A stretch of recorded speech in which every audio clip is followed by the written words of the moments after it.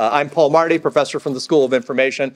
Delighted to be your MC for this lecture series. We have a really great talk today.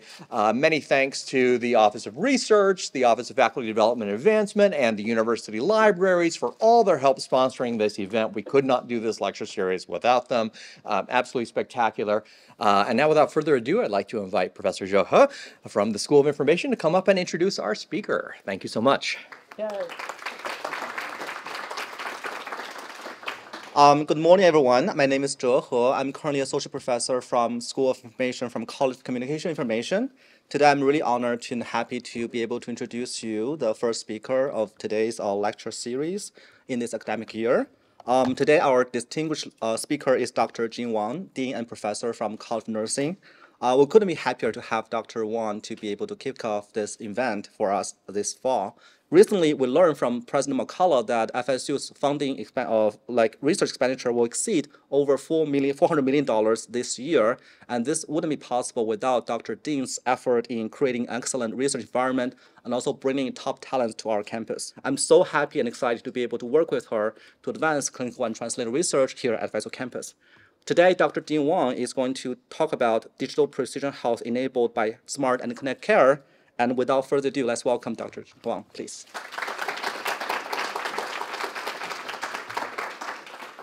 Thank you, Doctor. Thank you for having me here today. Um, thank you for the very um, kind introduction first really want to acknowledge this great lecture series and thank you for inviting me. I don't know how much Frankie or those in the committee that have decided on inviting me here, but it's a great honor to be here and talking to a very interdisciplinary audience about what we're doing. Um, uh, first, I want to start. Uh, what is precision health? Uh, it's a buzzword in healthcare and medicine. There's a lot of terms in precision medicine is very biomedical that people don't get a good idea about exactly what it is and different people who are working in the field of precision medicine or precision health will have totally different topics. Just so you know, those who are working in the genetics and genomics field will feel like their field is entirely precision medicine. And those who are working uh, in the area of entirely digital health that has nothing to do with genes and genomics or other omics also feel like they are precision health. So we'll talk about what it is. But the definition from the CDC is it's really about improving health for each and all of us. And our genes and behaviors, like what we eat, how we drink, uh, how we sleep, and the environment that we live in, uh, really really impact all of our health. A lot of times people feel like, okay, I got this gene, I will have this disease by the age of 50 anyway. So it doesn't matter what I do but that's actually not true. Um, so uh, I think there has been research evidence suggesting that a lot of the chronic disease, 60 or 70% of those diseases can be prevented or delay the onset of those diseases, including many of the famous ones, you know, type 2 diabetes, Alzheimer's disease, and all of it. So really it's about the goal of precision health or medicine is to really protect your health by measuring these factors and how we act on them. And my definition for digital precision health, which where I think Florida State University and College of Nursing uh, especially can take a leading role is how can we leverage digital health technologies to measure and act on these factors that will tailor on these interventions and accurately predicting an individual response through a multi-omics, meaning it's not just the genes, it may be some uh, metabolism through your body on how you behave, how your lifestyle look like will change uh, your response to certain things.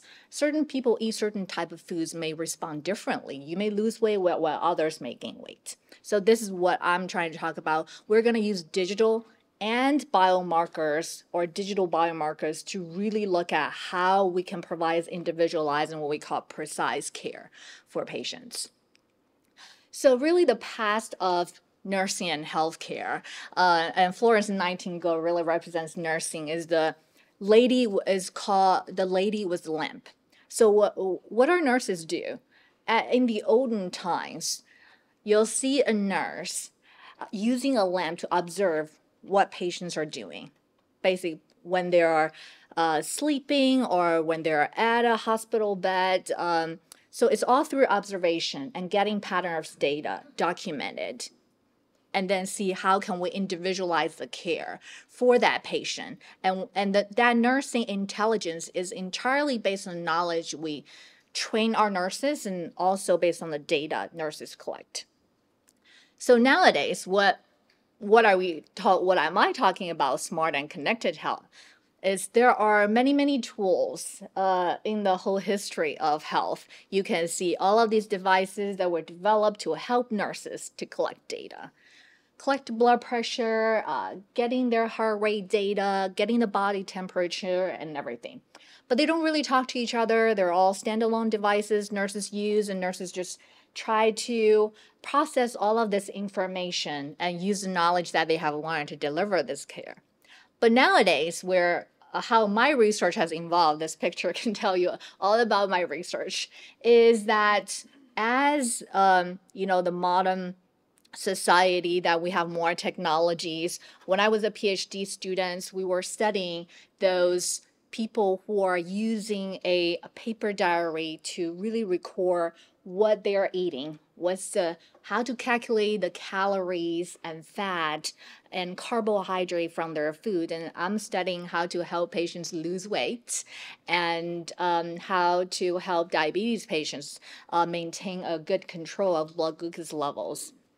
And I started as an undergraduate nurse where I went to those seniors' homes in the communities and they will tell me, well, I'm not taking this medication. And we all know that uh, you can easily control hypertension if you just take the medication. So I, I developed this research question in my head about, um, well, if I can just get people to be compliant at the time or nowadays more called adherent to the medication regimen, then they'll get better. And and that was when I entered the PhD program. That's what I wanted to do. But I ended up being in University of Pittsburgh, where it has the largest uh, study leading the multi. Uh, clinical trial leading the nation studies on diabetes prevention program what they call look ahead study for diabetes is really looking at actually by adopting or by giving patients a very intensive behavioral lifestyle intervention.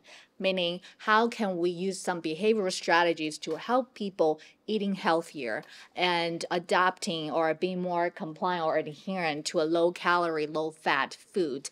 And more exercise can actually do better than, than giving them a pill or uh, taking a medication called metformin.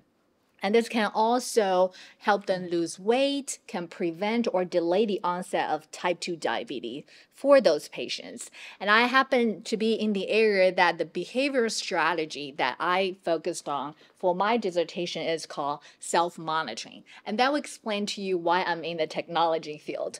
At the time before we even have smartphones, I was focusing on how can we use paper diaries. And what we find out is that people who actually monitor more on a daily basis, they're more likely to lose weight. So it's one of the most effective behavioral strategies out there. And the theory behind all of these um, these interventions are that diet and exercise are learned behaviors as you, you, you don't just know it when you were born they're learned behaviors. So th- they can be unlearned, unlearned in a way. So, what are some of the behavior strategies that we can um, help people? And my research is focused on if you give people tools to help them monitor, and if you can get them keep monitor, they're gonna change their behavior. And my research, and for those of you who don't know what's personal digital assistant at the time, don't ask me how old that is. Um, we transition from paper diaries to a personal digital assistant, similar to apps nowadays, where you monitor diet and exercise and calculate calories and fat and carbohydrates of the food, and how you exercise can balance your uh, weight loss and get your goals met. And my dissertation is focused on when we randomize people to really using this personal digital system for monitoring of different things, not just one thing, both diet and exercise versus that give them individualized feedback based on their monitored data. Which one would work better? And how, uh, what are some of the strategies and problem solving skills we can teach them? So from then on, I really, every time there's a technology change for self monitoring, I have to keep up.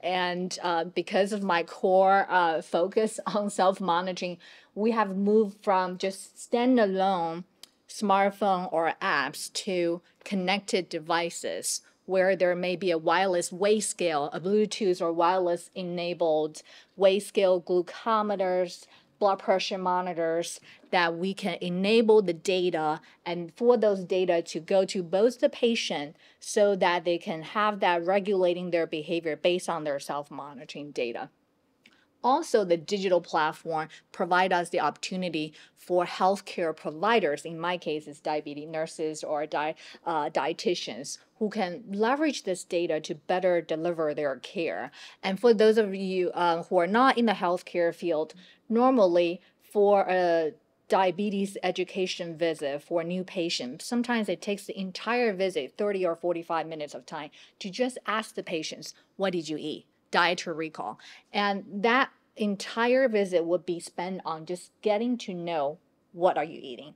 And that is too much, and we really nurses don't have time to even do the individualized education when a dietary recall will take that long. So I started the um, study about connecting this data because they're digital at the time, uh, and really connect them into a connected platform to um, what's uh, currently used nationally by the American Diabetes Association or American Association of Diabetes Educators at the time, where the it's a specialty version of electronic health record for those of you who more know the EHR for everyone we use in the hospital. There are specialty ones where we can leverage this data to tailor the care. So within one or two minutes, that's through our study that uh, we have led, funded by the Robert Johnson Foundation, is that within two minutes, they can not only get an idea about what patients are eating, for one day, but over the past three months. So that have saved the entire visit time to be focused on more on education and behavior change um, strategies a nurse or that a dietitian can be using. And later, because of the technology, some patients are like, I don't want to be monitoring this much. Uh, I don't want to wear a wa- Apple Watch or I, I don't like to be tested this much. So that we also started research about maybe we can also study patients by putting everything on them.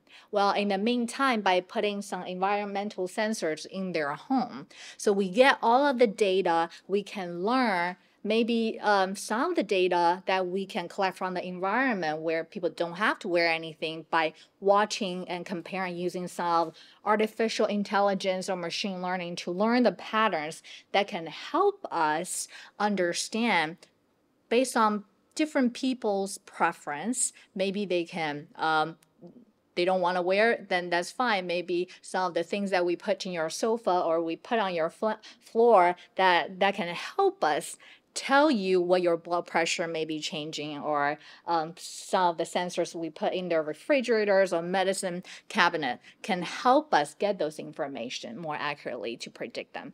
So that's why we have also looking into putting those um, environmental sensors in patient homes. When there are all this technology on smart home, we were trying to move into the field about what about a smart health home, not just smart home for all the electronics you have that are smart devices, but also what are for the health devices, and also looking into when there are too many apps, too many devices, how can we all put them all in one place and simplify them for both the patients and nurses. And that that's in a nutshell was all of the research that I have done over the past uh, 15 or 17 years um, was looking at the different things. And when we also talk about connected technology. Um, there are things that where you sometimes you don't need a sensor based on even how the Wi-Fi signals or your Wi-Fi um, devices work in your home, there can also be considered as a sensor that can tell us what are your behaviors. And here are some of the examples where um, how we can monitor uh, our patients with the different sensors throughout their body and in the environment. How can we connect them to the healthcare space?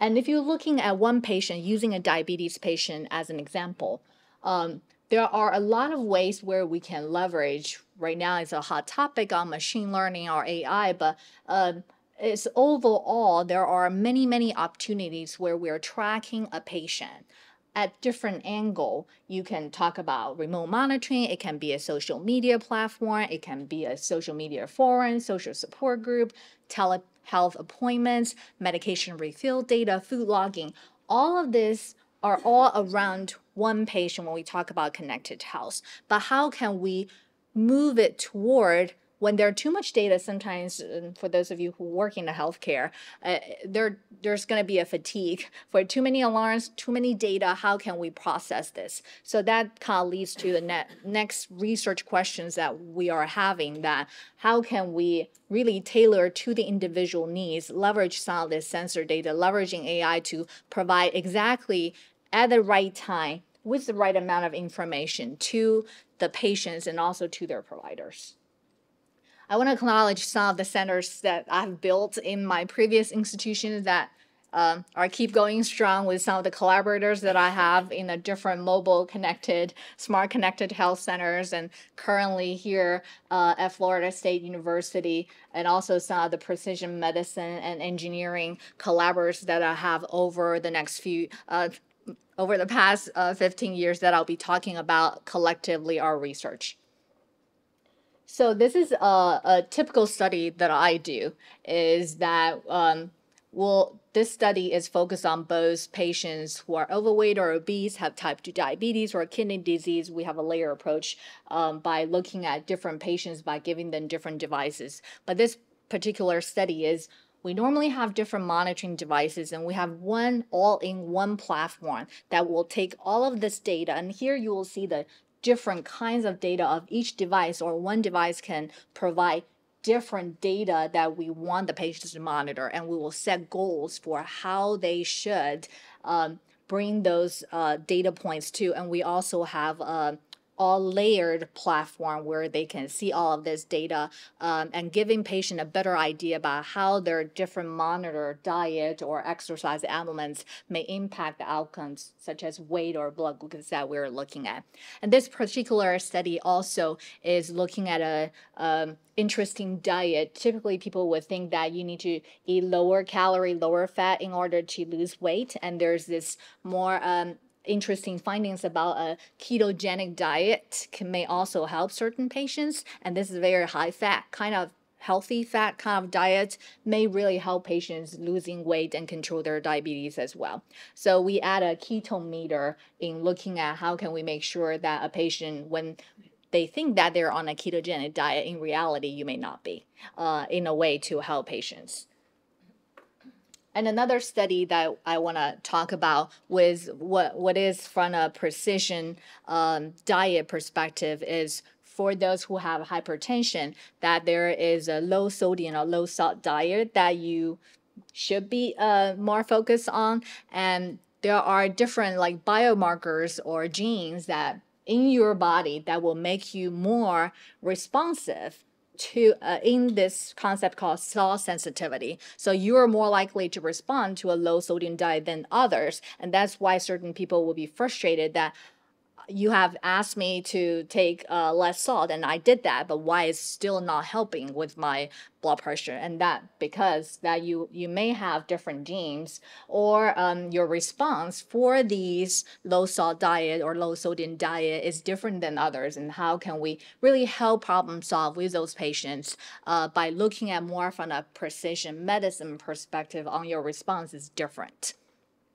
And this particular study is looking at how can we use the digital monitoring of both the diet and the sodium level in your diet and also blood pressure at your home to help you understand. And by giving you the information on your genes and your metabolites, we can tell you what you're prone to and what your response is more likely based on the digital data. Um, because sometimes people will tell you, I, I did it, but in reality, they may not. So um, that's how we, we think using a digital approach can really help in the field of precision health and medicine.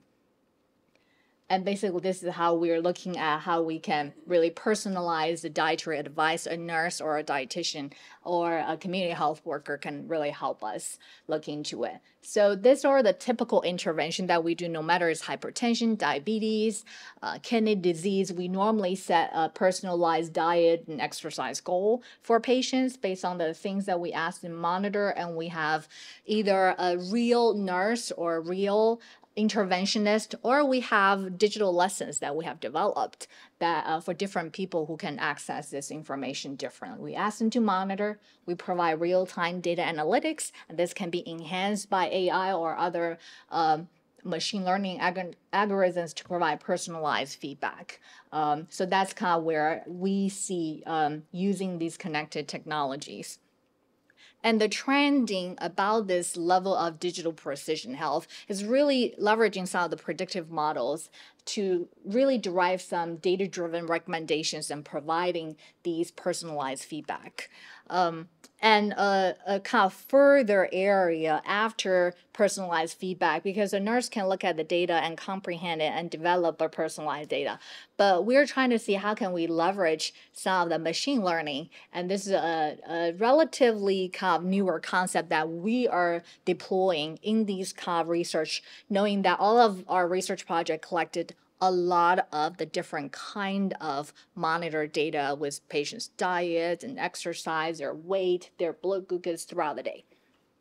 And we're trying to utilizing this digital twin approach uh, that we borrow the concept from and uh, mechanical engineering or uh, different areas that by looking at how can we, when we collect all of this information, train these models and um, learn from all of these models and develop a twin, basically a digital twin of yourself. By learning about you, and then I have a digital twin that we may tweak different things in the person. And then in order to give you a feedback on how you can better modify your behavior if this is your goal.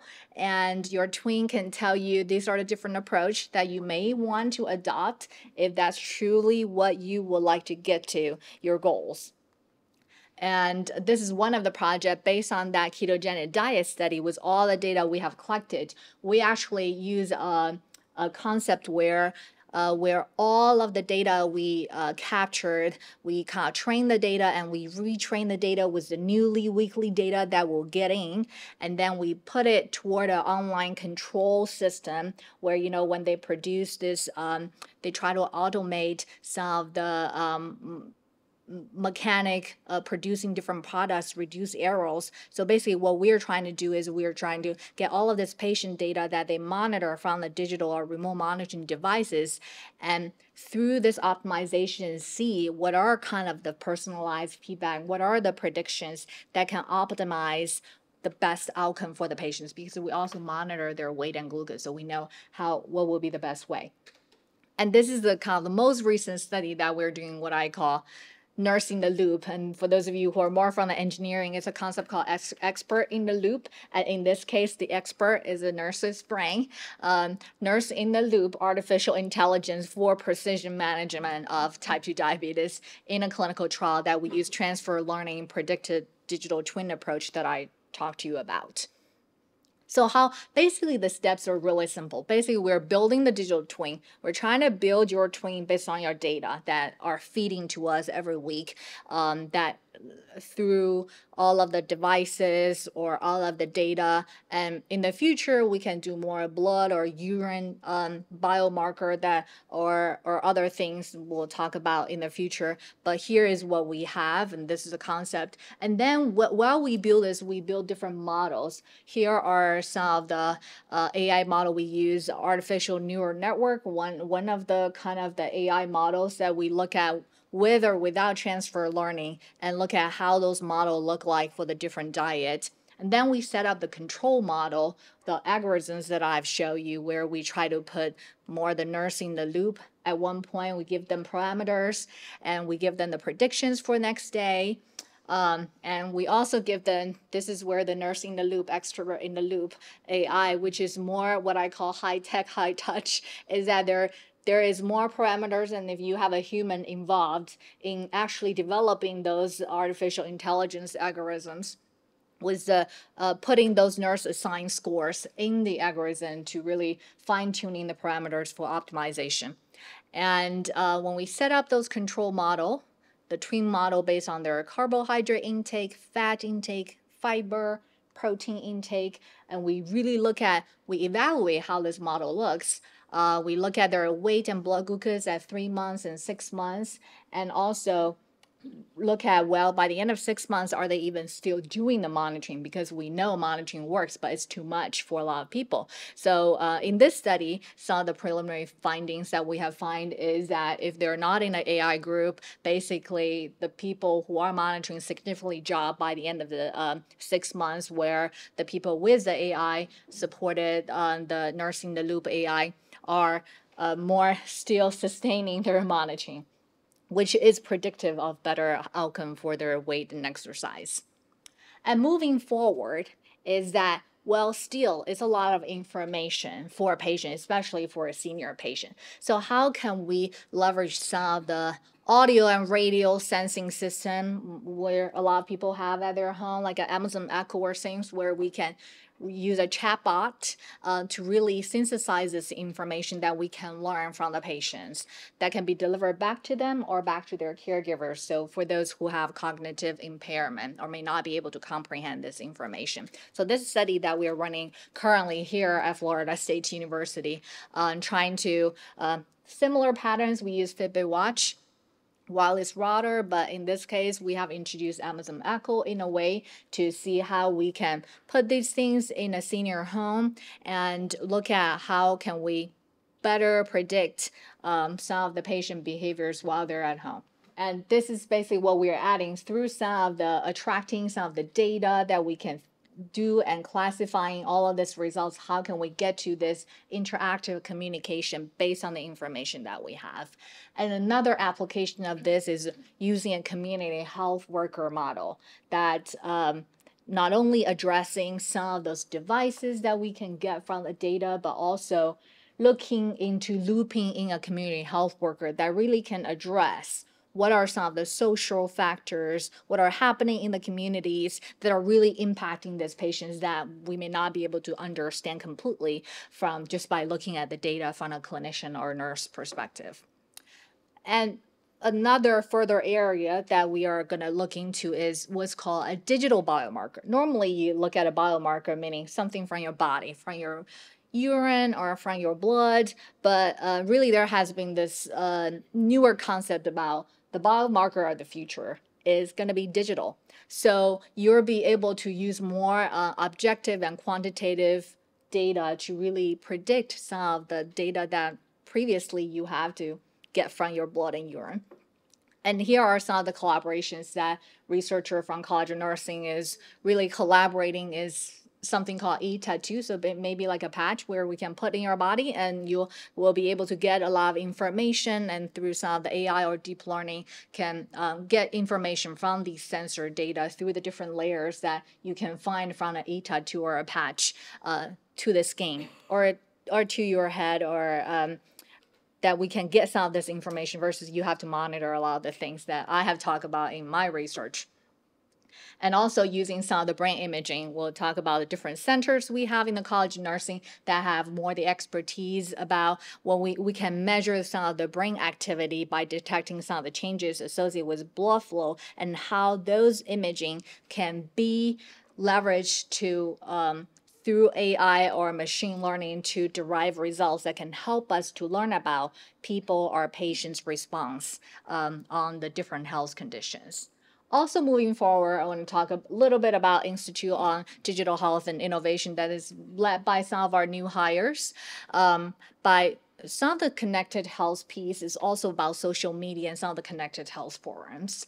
Um, there can be a nurse or community health worker or any other professional can monitor this health forum. It can be standalone or assisted with a peer coach or facilitator who may be from that particular group.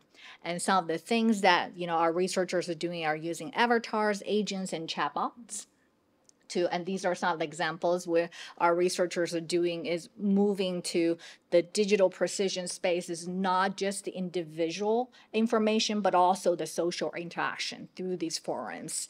And what's next? And there can be a text messaging based intervention but how can we implement all of this evidence into large social media forums to be able to really support some of the behavior change that is needed for our society and our public?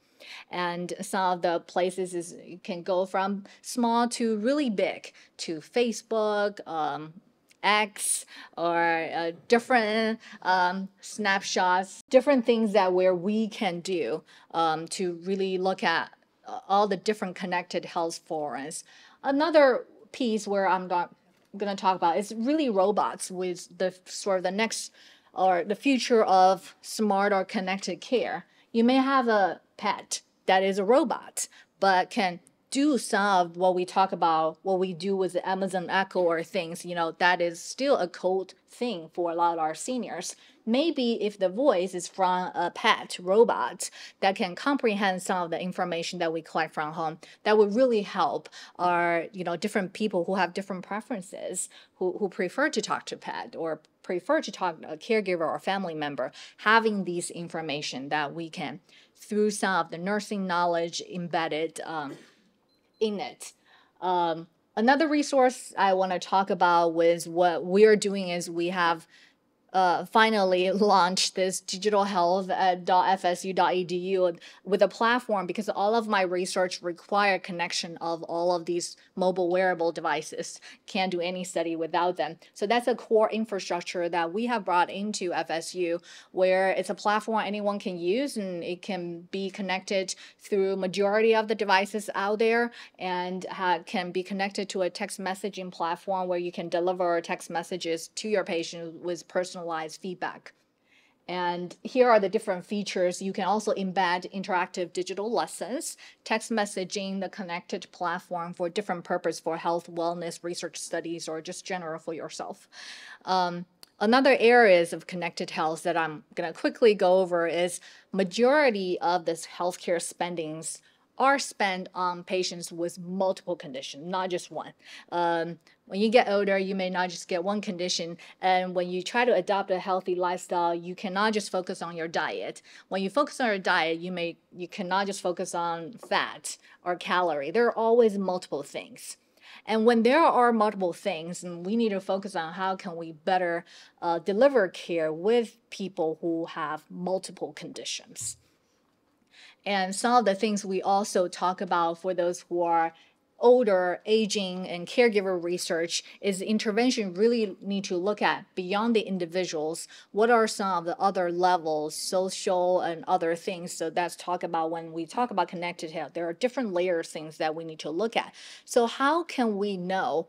Uh, it cannot be just one component of the intervention. So uh, the next kind of set of research question is we don't know which component is making positive contribution to what parameter. And so what when we look at the future in partnering with a lot of engineering, there are a lot of new clinical trials leveraging how can we optimize strategies within a multi-component intervention and, and really optimize how we can better tailor and individualize these precise interventions, leveraging the digital and the biomarker data to um, optimize what's best for the patients. And here's really what I think is the future of clinical trial may not be everyone or who assigned into certain groups are getting the, exactly the same for for all. Maybe the future is N-of-1 trial, like every individual is one group in the trial, and how can we better tailor for those who are responding to certain intervention, yes or no, they're adherent or not. We have different strategies to really provide to help them and another area where I think, you know, where the future of health and health lies the, uh, in the digital precision health and smart and connected health is we learn a lot about over the past few years, advanced care at home and hospital at home. How can we better leverage the technology to really bring us both in home settings and clinical care settings we can really bring all of this information. When you go to a clinic, you don't have to answer your physician, your nurse, or the assistant asking the same question all the time, not knowing exactly what you have been doing over the past three months. But they will have everything and they will look at you because they only take them a few seconds to understand how you have been doing and be able to provide you uh, better care. And where I think FSU can really leading in this areas by having an incubator for AI applications for aging in place and have some of the uh, attract uh, a lot of industry partners, and but also how we really look at some of the workforce development. I see my uh, team there uh, who have been really uh, working hard in how can we uh, revamp our curriculum, how can we be at the forefront in a lot of the care that we deliver. So next, I want to highlight a few centers where how we are going to do it.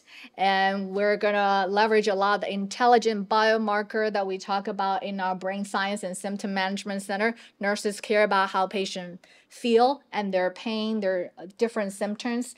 And that, are non-invasive home-based approach with brain stimulation and a lot of other things that we can do in getting that individualized care. We have the institute on digital health and innovation where um, that I also are part I'm part of and Lisa the director is my boss for for that. If you need to have access to the platform you have to ask her. And also the Center on Population Sciences for Health Equity uh, which hosts the first program about how can we leverage some of these interventions in different populations, really uh, having a goal in providing healthcare for all. And also, lastly, the TMH Center for Evidence-Based Nursing Research and Practice and how we can translate a lot of this in collaborating with our hospital partners and community partners.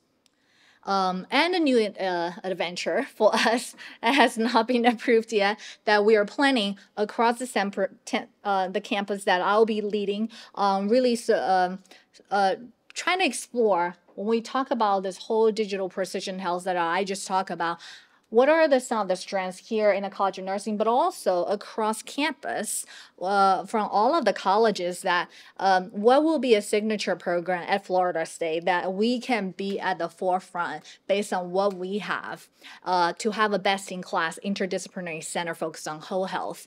Um, you learn about my research is all about lifestyle. I gave up on medication. Not really. I still want patients to take their medication. But I really find that by supporting patient with a healthy lifestyle can do better. And how can we get there? Leveraging the digital health and the biomarker research and how understanding how their body respond differently to these interventions.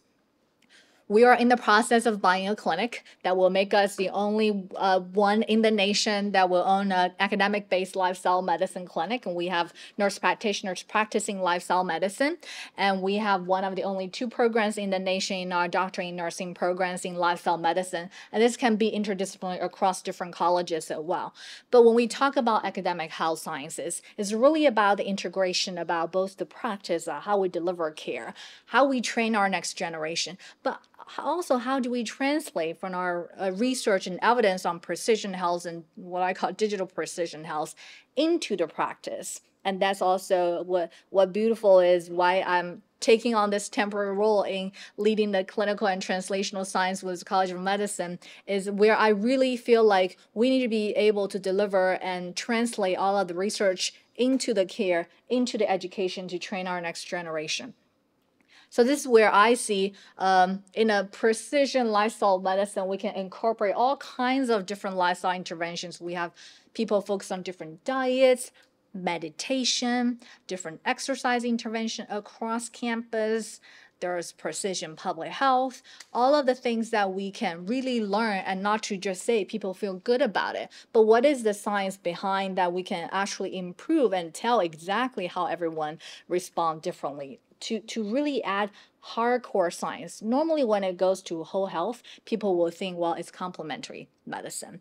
Um, pseudoscience. So I think what we can differentiate us from the rest is that we're going to use hardcore science using digital and precision health concept to really look at how these are actually make a difference. I listed some of the different uh, colleges and different majors that really from art therapy, music therapy, social work to public health, nutrition, exercise to, of course, communication, science, health, information technology, even to law, entrepreneurship, medicine, uh, business, uh, a lot of areas that I may not even know at this point about across campus. How can we leverage what we are best strong at in the lifestyle space? Um, to really uh, using the science or the scientific approach that I have talked about, um, you know, throughout my um, talk on how we can bring everything together to say we are the best in studying using these precision or digital precision health approach in looking at different lifestyle interventions that can improve health through science. So with that, I'm gonna end my talk. I know it's a little bit over, but I can be uh, reached in my email, and I really want to thank uh, all of you uh, for coming and listening. And I look forward to see what where we can go from here. I'm very hopeful with everyone here because you are all the people who are doing the hard work. Thank you.